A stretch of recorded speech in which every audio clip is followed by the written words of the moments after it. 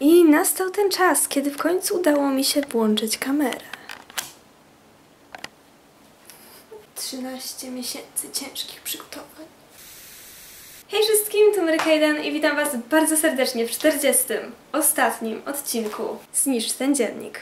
Zapewne zastanawiacie się, co dziennik robi w tym dziwnym czymś. Otóż ostatnie kilka miesięcy większość czasu spędził właśnie tu, w takim moim opakowaniu, bodajże na strój kąpielowy w arbuzy. Yy, kilka razy nawet mi się zgubił i nie wiedziałam co jest. Yy, ale generalnie trzymam go tutaj, ponieważ z niego coraz wysypuje się brokat i inne dziwne rzeczy i po prostu tutaj yy, jest bezpieczny i nic mu nie groziło. Zniszcz ten dziennik. Tak to jakoś mówiłam, czy coś.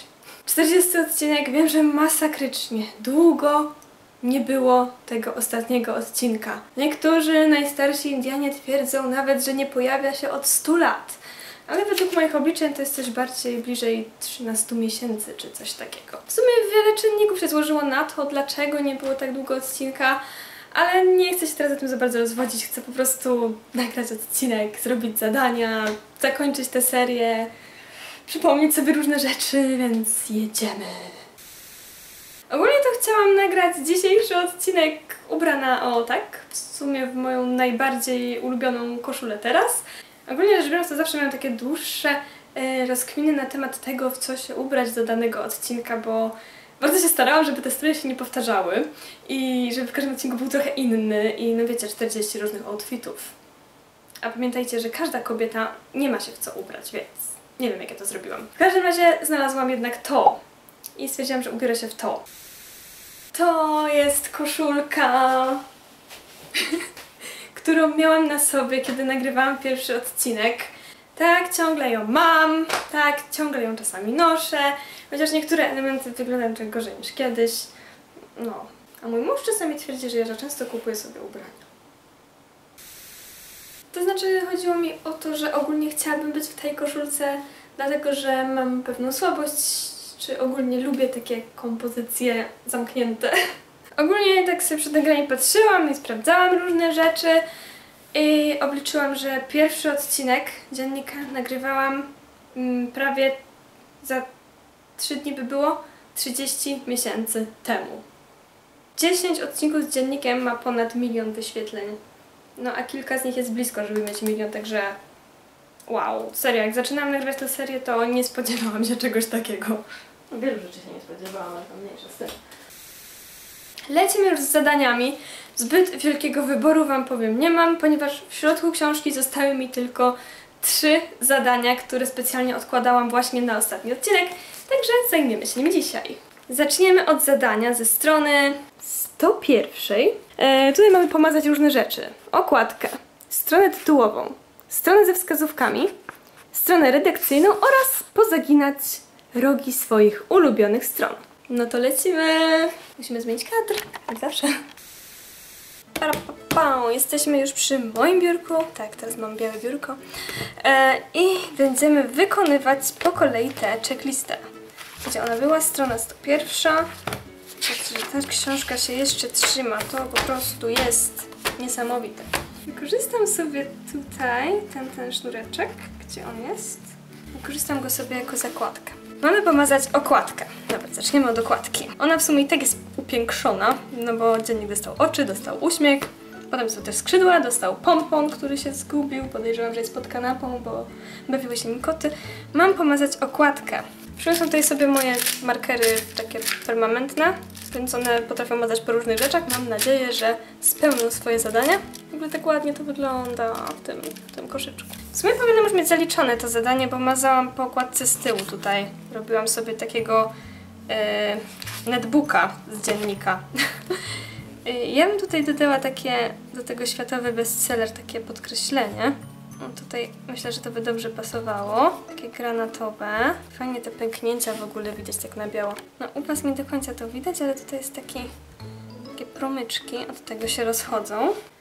Tutaj podkreśliłabym jeszcze tę strzałkę na różowo. Gdzie ta okładka nie była? Teraz sobie początek trochę bardziej rzuca się w oczy. Tutaj grzbiet już jest totalnie posklejony i w ogóle. Jeszcze jest tył okładki, ale jak mówiłam, on jest właśnie pomazany. Także no co, myślę, że jako okładce to tyle wystarczy. Nie chcę w niej dokonywać zbyt dużych zmian, bo w sumie lubię ją taką, jaka się stało. Pomasz okładkę. Czek. Marker zaczarnił, ale spoko, wyjdzie z tego. Strona tytułowa. To jest ta. Prawie nic yy, nie zostało na niej uszkodzone, bo tylko tu jakaś farba wyciekła. Dobra, po prostu dodam różne rzeczy od siebie.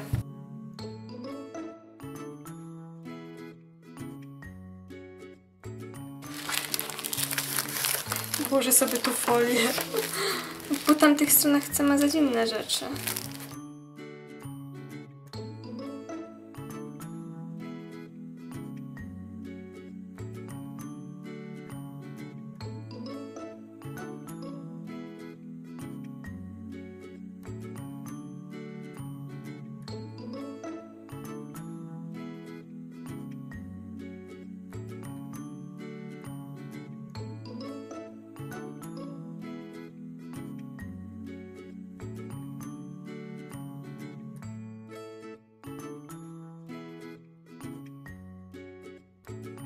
Taka dosyć kolorowa. Jak wiecie, no ja lubię kolorowe rzeczy i używać różnych kolorów na stronach i tak dalej, także no tak się po prostu prezentuje teraz strona um, tytułowa. Strona tytułowa, check. Pora na stronę ze wskazówkami. Powiem Wam, że jeśli chodzi o stronę ze wskazówkami, to bardzo, bardzo, bardzo długo czekałam, żeby na niej coś zrobić. E, Ponieważ już od samego początku kusiło mnie, żeby tu pokolorować te literki różnymi kolorami w środku. One się aż o to proszą. Musiałam się powstrzymywać, no bo właśnie chciałam zostawić te zadania z tej checklisty na sam koniec, także nareszcie mogę to zrobić. Jej. W sumie pomyślałam, że żeby nie otwierać tyle razy tych samych mazaków w kółko, to spróbuję pokolorować wszystkimi. Jak tutaj zaczęłam, ale spróbuję pokolorować wszystkimi kolorami, ale każdy mogę otworzyć tylko raz. Yy, wiecie o co chodzi. Na przykład wezmę różowy, pokoloruję nim kilka liter i nie mogę już do niego wrócić. I chyba tak to zrobię, zobaczymy jak wtedy będzie to wyglądać. Eksperymenty. O to chodzi w dzienniku.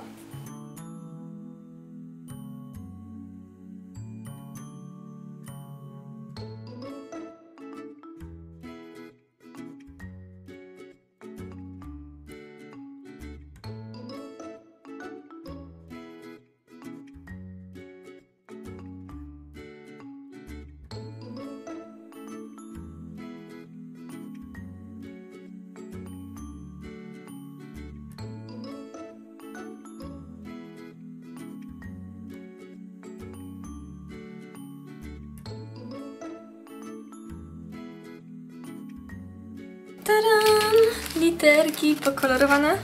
Ale słodko!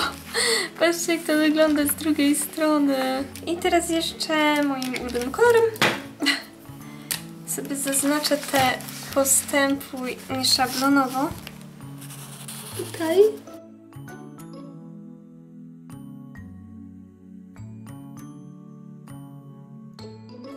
Dodam wykrzyknik. I dodam serduszko. Albo i dwa. Albo i trzy, albo i cztery, albo i pięć, albo i sześć, albo i siedem, a może nawet osiem.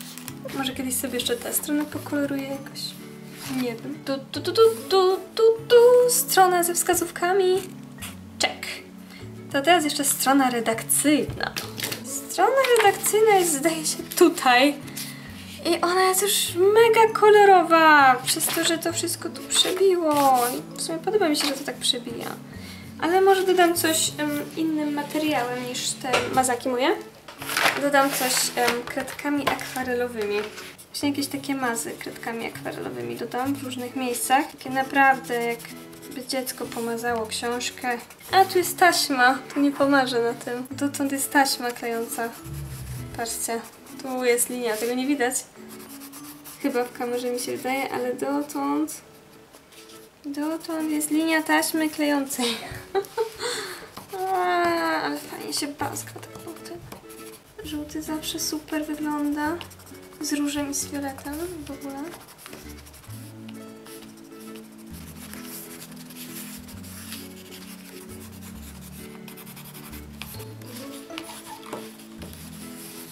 Dobra, jest już mega kolorowo. Teraz idę po mój mm, przedmiot specjalny. Okej, jestem z powrotem. O! Ciekawie to wygląda przez tę dziurę. Przyniosłam tutaj mój taki mm, pędzelek, y, do którego się wlewa wodę. I teraz z tego, że to są kredki akware- akwarelowe, y, będę je rozmazywać. W sumie nie rozmazywałam jeszcze takich, poma- takich pomieszanych mega kredek akwarelowych, także nie wiem jak to będzie wyglądało, nie wiem jaki będzie efekt, ale spróbujemy. No i chyba to jest ostatnie spotkanie dziennika z wodą. Mam ręczniki papierowe, jakby co. Dobra, zrobię tak, żeby cała była zakolorowana i żeby... Wow, wow, wow, wow. Tutaj widzę, że ta zieleń dominuje wszystko.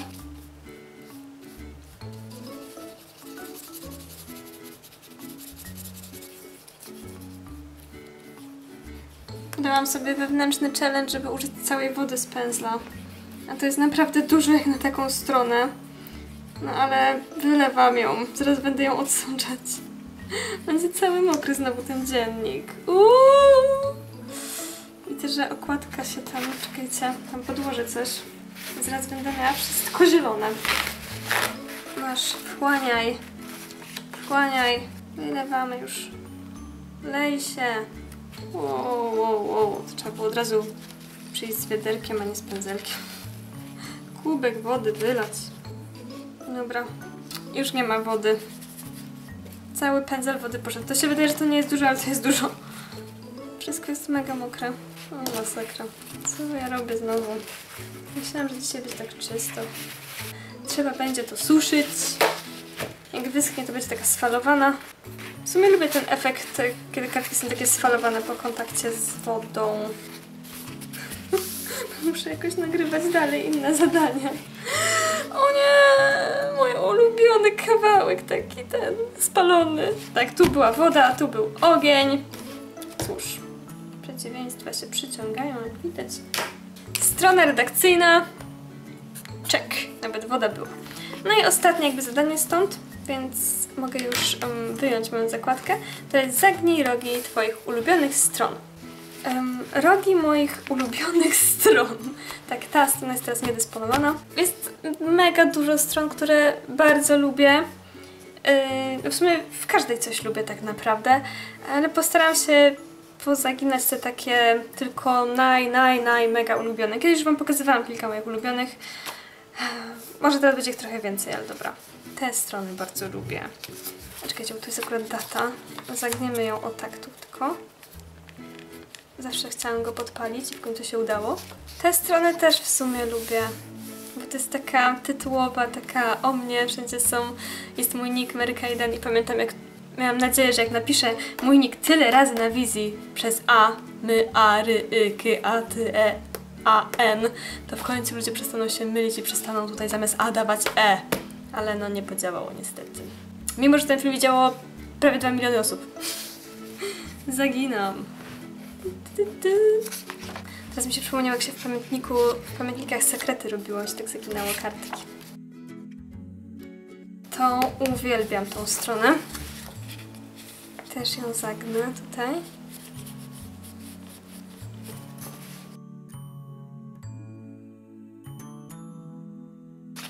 Ta musi być. Do dziś konfetti się z niego sypie. To jest wyróżnienie dla stron, takie zagięcie. Mam nadzieję, że one sobie z tego zdają sprawę. Lejek. Z pierwszego odcinka, no.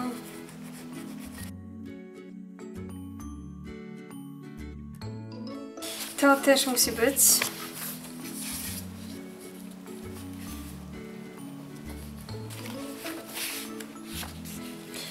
Uwielbiam tą stronę. Ona tak wyszła super z tymi przenikającymi się korzonkami. Więc też zaginamy róg.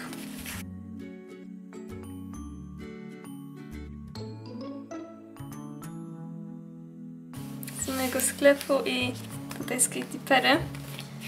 One się trochę łączą. Zegnę je o tak. Obie bardzo lubię. No, to jest jakaś masakra. No Mnie to, ile tu jest jakiegoś kurzu z brokatem. Disgust.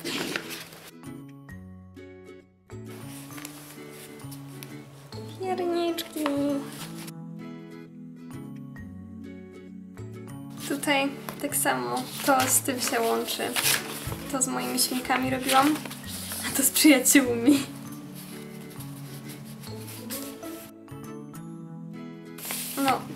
Uwielbiam. Te z perfumami.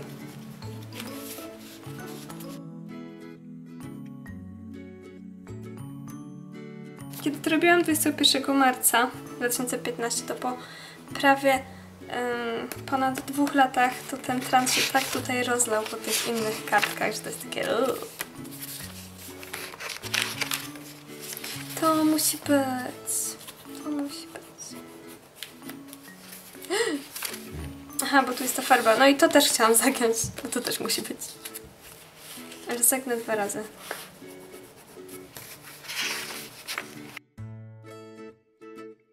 Tutaj była moja ulubiona strona, ale tak jak było w opisie, żeby podarować swoją ulubioną stronę, no to ją oddałam. To była strona z serduszkiem Never Give Up. Z komentarzami pod pierwszym odcinkiem.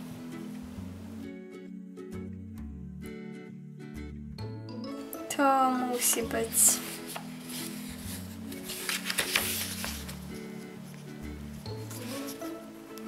Kocham to.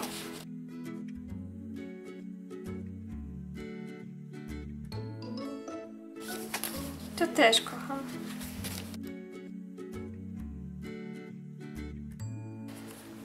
To też kocham. To jest tak kolorowe, piękne. I koniec. Pozaginałam rogi ulubionych stron. Tu nie było checklisty, ale ja sobie dodam, no, żebym wiedziała, że to zrobiłam. Będzie na odwrót. Będzie różowy kwadracik i czarne zaznaczenie. No, także pierwsze zadanie, w sumie kilka w jednym, na dziś mamy zrobione. Wytrzymasz chwilę bez tego papieru? Mam nadzieję, że tak. Ojej, drze się. Najwyżej będziemy ratować. Dobra, zrobiłam już dzisiaj bałagan na kilku stronach. Pora na kolejną. Strona 103. Strona dobrych myśli. E, Kiedyś chciałam tutaj umieścić różne fajne cytaty, które lubię, ale jak pewnie przed widzieliście po tym szybkim przeglądzie, albo może pamiętacie, mam taką stronę, na której już pisałam właśnie takie pozytywne cytaty i to lewą ręką. Miałam też, no bo w sumie już ją oddałam, stronę z serduszkiem Never Give Up, która też by mi tutaj pasowała, bo to jest takie motto, które mnie motywuje, ale napiszę tutaj inny taki, takie motto, cytat czy coś w tym stylu, e, który też mnie motywuje i mi się podoba, także znowu idziemy na biurko. Żeby było trochę ciekawiej, to nie będę tak po prostu pisać tych liter, e, które tu chcę dać, tylko powycinam je z różnych tam starych gazet. E, kiedyś raz wycinałam litery, ale wtedy wycinałam wszystkie litery M albo M z różnych rzeczy, a teraz po prostu też tak wytnę po kolei te litery, które są mi potrzebne. Że będę ich teraz szukać.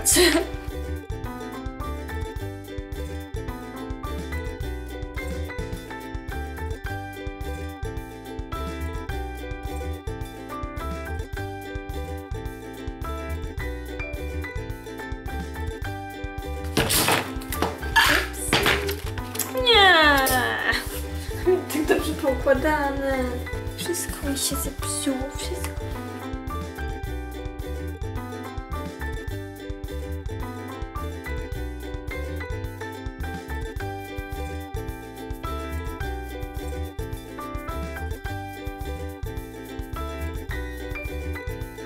Tom, tom. To teraz przyklejamy. Ugh. Ten klej chyba umarł, tak dawno go nie używałam. Klej zdycha. Sztywcie. Dłużej pomocy. Do klejenia? Nie, też jest sztywcie. Aha. Okej, nawycinałam się, nakleiłam, ale mam. The best is yet to come. Czyli najlepsze dopiero nadejdzie w tym stylu. Myślę, że to jest dosyć pozytywna myśl. Okej, właśnie montuję film i zauważyłam, że zapomniałam tutaj dodać tu. Miało być the best is yet to come. Nie wiem, cały mi się wydawało, że tutaj to jest. Nie wiem dlaczego. Hmm, dodam to sobie później, także spoko, zauważyłam. Okej, także pora już na ostatnie zadanie. Zadanie ze strony 168 i 169. To miejsce jest przeznaczone na Twój monolog wewnętrzny. Czyli ogólnie, no wiecie, takie przemyślenia i no chyba wiecie, co to jest monolog wewnętrzny. Zostawiłam to zadanie na sam koniec, ponieważ no najbardziej jakby ono pasowało mi na sam koniec, takie trochę, wiecie, podsumowanie i inne tego typu sprawy. Tak, ostatnie zadanie. Być może pamiętacie, że y, kiedyś, dawno, dawno temu zostawiłam w dzienniku ukrytą sekretną wiadomość. Ukryłam ją w tej kopercie. I dużo osób mi mówiło, że o, miałam w ostatnim odcinku powiedzieć, co to będzie za wiadomość. No tak, no teraz ostatni odcinek, więc w końcu otworzymy tę kopertę, wydobędziemy z niej tę tajemniczą wiadomość, którą miałam ukryć. Bo właśnie to strona w sumie 173 głosiła, żeby ukryć w dzienniku sekretną wiadomość. I powiedziałam wam właśnie, że tutaj jest pytanie, na które odpowiem w ostatnim odcinku. Tego będzie się właśnie tyczył mój monolog wewnętrzny. Także no, musimy otworzyć tę kopertę. Tutaj po prostu jest taśma, którą ledwo widać. Mam nadzieję, że sobie nie zniszczę paznokci. Uważam, że to jest świetne miejsce na ukrycie sekretnej wiadomości, bo no naprawdę w ogóle tu tego nie widać. To chyba potrwa zanim... O, dobra, dobra. Jakiś progres jest. Udało mi się odkleić nic nieznaczący kawałek. Okej. Okay. Bezkrywki trochę się zniszczyły. Ale jestem coraz bliżej dostania się do zawartości mojej tajemniczej koperty. Okej. Okay. Gdzie jest ta kartka? Jest. Widzę ją, jest tutaj. Ogólnie to w tym kluczowym momencie tradycyjnie, bo często miałam z tym problem, zawiodła mnie moja bateria w kamerze. Chociaż jak zaczynam um, nagrywać, to była naładowana na full, ale wysiadła w tym kluczowym momencie, na który tyle osób czekało, ale teraz będę nagrywać końcówkę z telefonu, bo nie chcę tyle czekać, aż ten, ten telefon, ta kamera się naładuje, więc będziemy nagrywać z telefonu. Chciałam powiedzieć, że ogólnie te litery, które zobaczyliście tu najpierw, to jest jakby tył e, tej karteczki z wynikami, a wiadomość jest na tej niebieskiej karteczce. Pewnie pamiętacie zresztą, że chowałam wiadomość właśnie w takiej niebieskiej karteczce. Także koperta została otwarta. I teraz czytam to pytanie. Pokażę Wam je najpierw, bo czekaliście na to tak długo. Proszę. To jest to pytanie, nad które wszyscy się tyle zastanawiali. No w sumie nie jest to nic takiego mega niezwykłego. Mam nadzieję, że nikt się nie zawiedzie, ale ja nigdzie nie mówiłam, że to jest jakieś mega wow. E, tutaj jest pytanie, co czujesz wiedząc, że to już koniec tej serii? I to jest właśnie miejsce na mój monolog wewnętrzny. Co czuję wiedząc, że to już koniec tej serii? Także tutaj ta karteczka z wiadomością jest schowana. Tutaj powinno być to miejsce na mój monolog wewnętrzny, w którym odpowiem na to pytanie.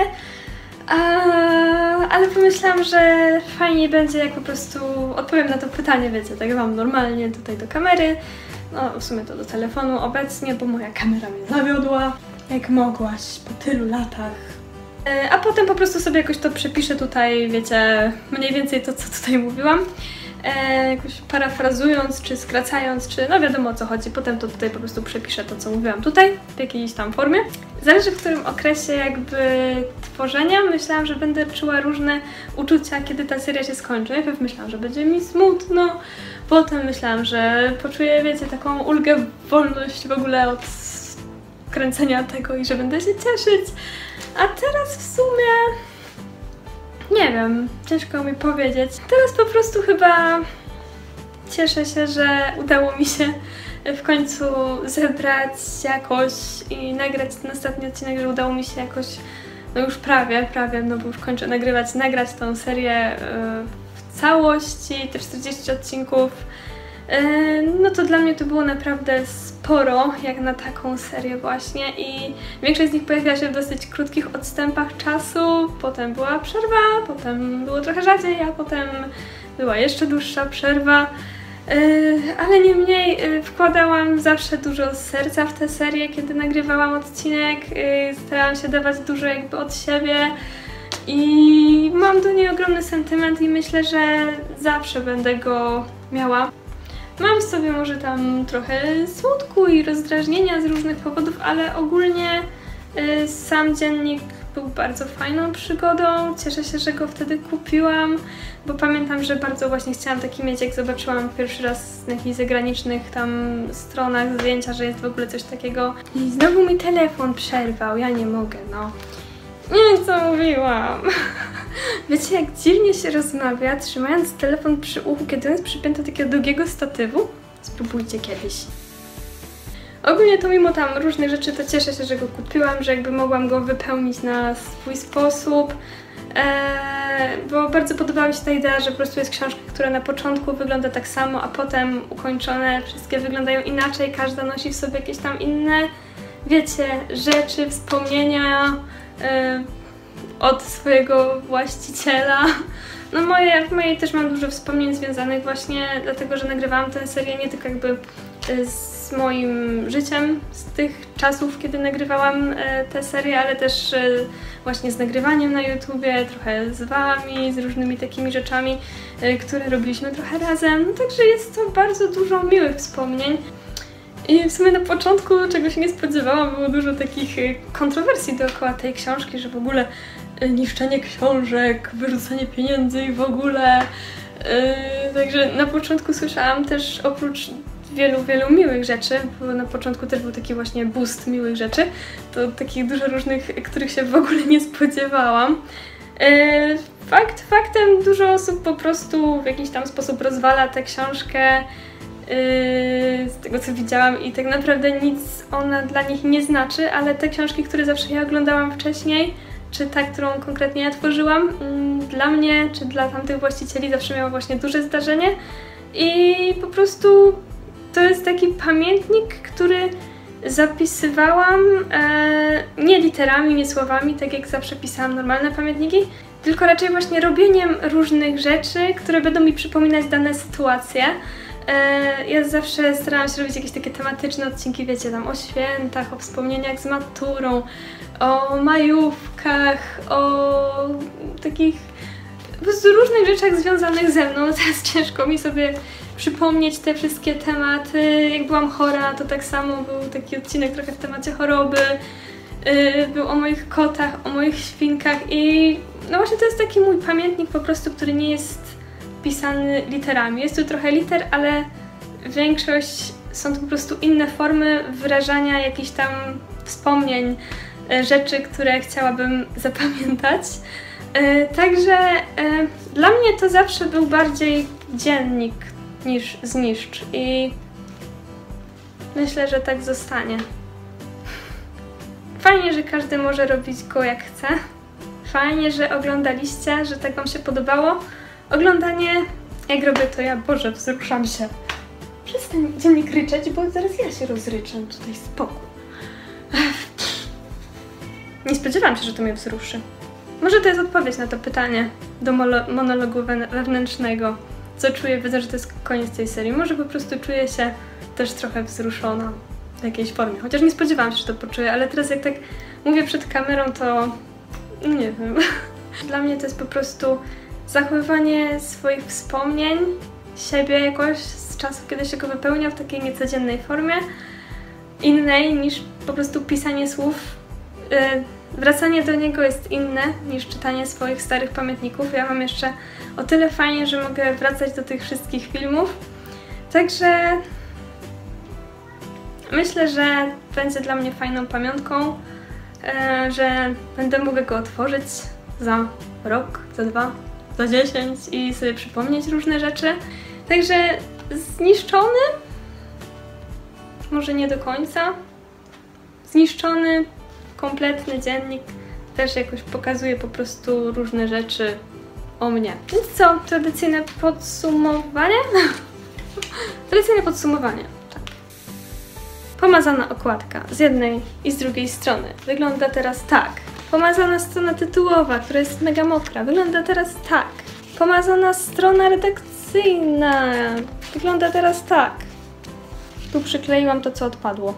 Pomazana strona ze wskazówkami wygląda teraz tak. Strona, na której zaznaczałam, co robiłam, wygląda teraz tak. Strona z dobrymi myślami, a w sumie jedną, że najlepsze dopiero nadejdzie. Wygląda teraz tak. Mojego monologu wysłuchaliście, mam nadzieję. Y, Na pewno sobie to zupełnie jakoś na stronach. Zniszczony dziennik w całości wygląda teraz tak. Na końcu, tak jak zwykle, będziecie mogli zobaczyć zniszczone, wysłane mi przez Was wersje Waszych stron. No i co, to by było już wszystko. Mam nadzieję, że ostatni odcinek Wam się podobał. Jeszcze raz wielkie dzięki za to, że byliście razem ze mną przez całą tą serię, że te odcinki mają aż tyle wyświetleń, co w sumie dzisiaj dalej mnie dziwi, że aż tak dużo. Dla mnie na przykład no 100 tysięcy to jest całkiem dużo wyświetleń odcinka. Jak pod ogólnie odcinkami mam około 100 tysięcy wyświetleń, to jestem z tego bardzo zadowolona, a tutaj setki tysięcy, pod niektórymi miliony, no ciągle mnie to dziwi, wow, naprawdę dziękuję. Za wszystkie łapki w górę, które zostawiliście też dziękuję, za wszystkie komentarze, które mnie motywowały. Było takich dużo.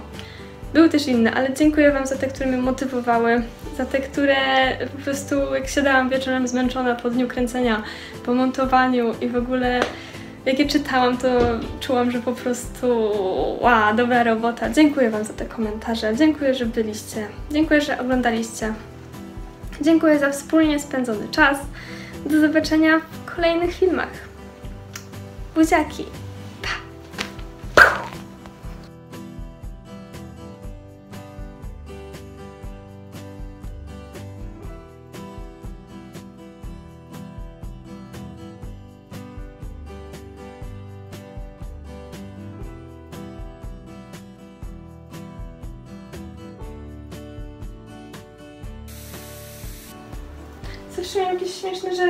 Odcinkach. Znaczy często miałam jakieś śmieszne rzeczy. Uszy Rysia. Uszy Rysia będą fajne. Teraz możemy zapozować na miniaturki. Jak zwykle dziennik. Ubrałam dzisiaj nawet skarpetki, na których jest napisane poniedziałek. I to nie tylko dlatego, że naprawdę jest poniedziałek, tylko no wiecie. To tak się kojarzy z serią.